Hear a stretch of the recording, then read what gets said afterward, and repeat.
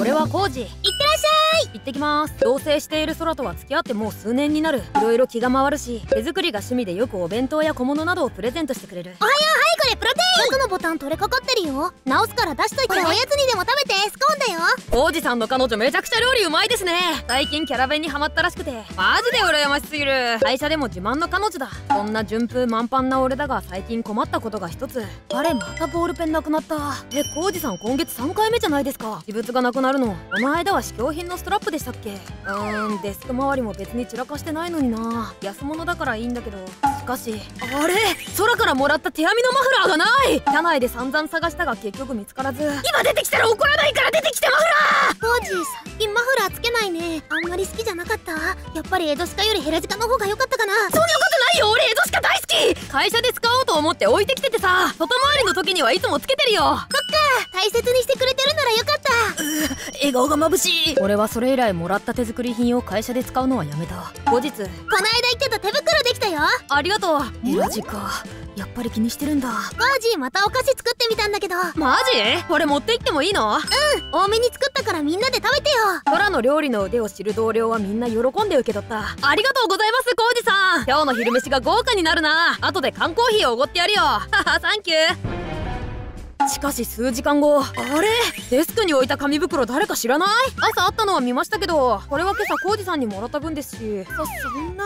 下に落ちたりして。ないか。コージさんこれさっきデパ地下で買ってきたモダバのケーキなんですけどよかったらお一ついかがですか？こちらは同僚の黒羽さん。若く見えるが実は俺より5つは年上らしい。ああ悪いですけど今そんな気分じゃなくて。おやつにどうかなと思って買ってきたんです。ここのケーキものすごく美味しいんですよ。いやおやつなら用意はあったんですけど。えー、もしかしておやつってデスクに置いてあった消し済みのこと言ってます？あんなの捨てちゃいましたよ。はあ？あれ潰れてたしどう見ても生焼けっぽかったし食べたら絶対お腹壊しちゃいますよ。セーフでしたね。あれは彼女が俺のために作ってくれたケーキですよ。それにあれは中身が半生のチョコだから別に生焼けだったわけじゃありません。今朝説明されたし。それ以前に勝手に人のデスクにあるもの捨てるなんて。そんな！私はコージさんのためにやったのに。いつも笑って許してくれてはいつも？待てよ。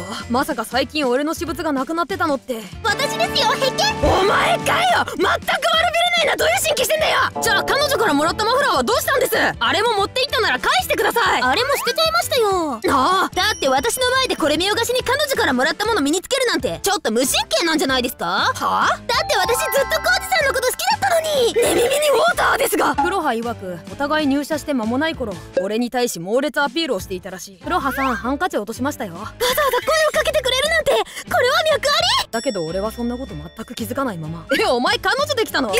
かわいい？誰に？ちょ勘弁してくださいよ。そんな私の気持ちには一切答えいや気持ちも何も別に告白されたわけじゃないし好意に気づいてなかったのはちょっと申し訳ないですけど。気づいてなかった？ああというかそれでどうして俺の私物を持っていくってことになるんです。だってコージさんの身につけてるものが欲しくってペンとかストラップとかだったら別にいいと思って。小学生かよ！黒羽はわざとらしく泣き落としにかかったがこれはやべえやつだ！という気持ちの方が圧倒的に勝ったというか彼女のくれたおやつとマフラーをジャンにされたのはやっぱ許せないんで金輪際仕事以外で関わらないでもらえます。そのモナなんとかのケーキも結構なそんな！私まだコージさんのこと好きのにそんなのひどすぎます。こんなに女の子が一途に思っているのにちょっと冷たすぎるんじゃないですか？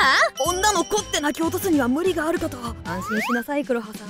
ぶ部長。もうコウジ君のそばで辛い思いをすることはないよ。えそれってどういう？社内恋愛にとやかく言うつもりはないが窃盗は見過ごせないな。他線で済めばいいけど上層部で審議させてもらうからガン落ちるそれから帰宅後。あれやこれやでせっかく作ってくれたおやつもマフラーもダメになっちゃって。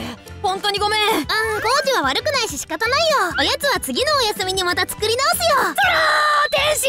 そして休日。うわこないだのよりパワーアップしてない？せっかく二人で食べるからね頑張った。二人で食べる量？ああソラ様天才 俺たちはこの後マフラーを作り直すため二人で毛糸を買いに行った。あその色いいね。色違いで私のも作っちゃおうかな。ちなみに左遷された黒羽のその後は。知らね俺も言いたかったのに。しょうがない